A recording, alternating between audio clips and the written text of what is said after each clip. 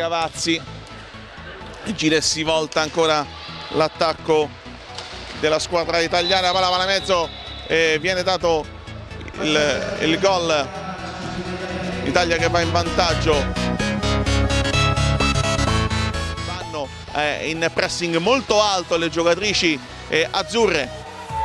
Attenzione all'attacco c'è lo spazio il tiro che non entra invece e c'è il gol di Rebecca Roccella per l'Italia che raddoppia la situazione di questa partita quindi cambiamento il punteggio quanto mancano 3.30 al termine del primo tempo 2-0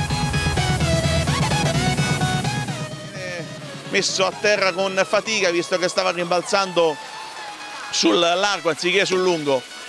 Si va sulla destra la spinta degli snipers che però perdono il controllo del pack. Settore di destra ancora con l'Italia che cerca di mantenere il possesso del disco, c'è lo spazio, il tiro e riesce eh, a giocarla così. Eh, gli snipers però la conclusione scagliata da Trotta non riesce a trovare il gol.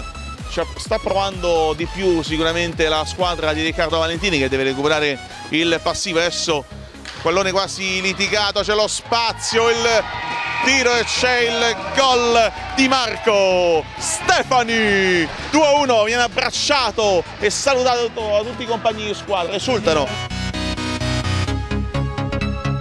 Così con il disco dato dietro in favore di Stefani. Mancano 30 secondi adesso c'è anche il portiere di movimento anzi praticamente Neloghi non si può mettere non si mette proprio il portiere in questi casi. C'è lancio Laia, Laia, Eleonora Laia.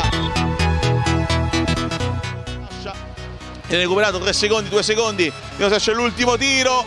E poi il tiro e il gol di Mattia Padovan. Vediamo se viene concesso. Sicuramente la partita è finita. Sì credo venga concesso il gol. Adesso vediamo se dalla giuria viene dato un sostegno. A tostare la partita è terminata al Pala Mercuri è finita. l'Italia bianca ha battuto per 3 a 2 la Cifu Skating